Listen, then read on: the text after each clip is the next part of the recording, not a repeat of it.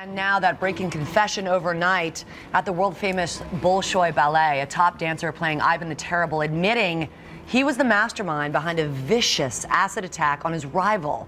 It's a scandal that seems ripped right out of the movies, but it's real. It's the role, isn't it? It's all this pressure. I knew it'd be too much. I knew it. In the movie Black Swan, a bitter ballet rivalry pushes Natalie Portman's character to the brink. What happened to my sweet girl? She's gone!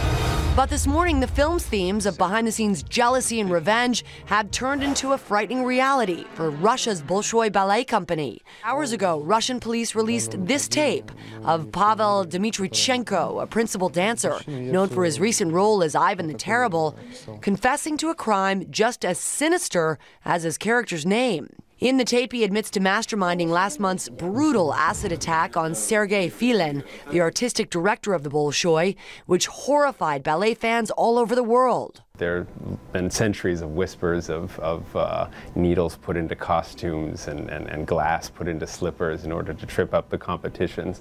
But this has really gone above and beyond. It's incredibly, incredibly competitive, and that is the prime focus of their lives. And they only get a very, very short time to focus on that. The assault happened as Filin was typing an entry code at his front door. Police say a man working on Dmitrichenko's orders, disguised with a scarf, came from behind, dousing Filin with sulfuric acid acid just before jumping into a getaway car. And this morning, the artistic director remains in a German hospital recovering from severe burns to his face and his eyes. No word on whether he will ever dance again.